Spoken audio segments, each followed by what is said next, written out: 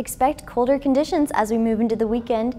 Thank you for tuning in to Newslink Indiana Weather. I'm forecaster Natasha Leland here with your midday forecast. A powerful cold front is moving through the country right now, and some states are seeing some of the coldest temperatures of the season so far.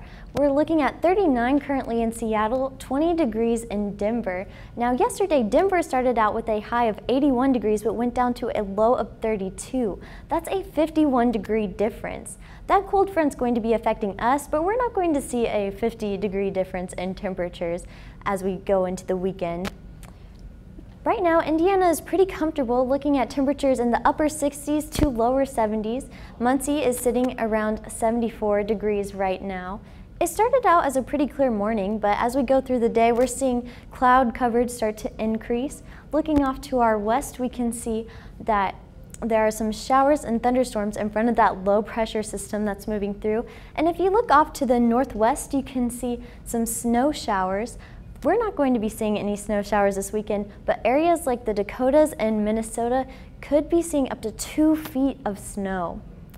However, right now, we're just going to look at increasing cloud coverage as we move through the night tonight, and we're going to start to see showers pop up as we go through the day Friday, possibly a thunderstorm in that mix. Today, partly cloudy skies, a high around 79 degrees, winds light from 5 to 10 miles per hour. Tonight, mostly cloudy skies, a low around 63 degrees, winds in the southeast from 5 to 10 miles per hour. As we go into Friday, we're going to see winds pick up 10 to 15 miles per hour. We could possibly see gusts up to 22 miles per hour.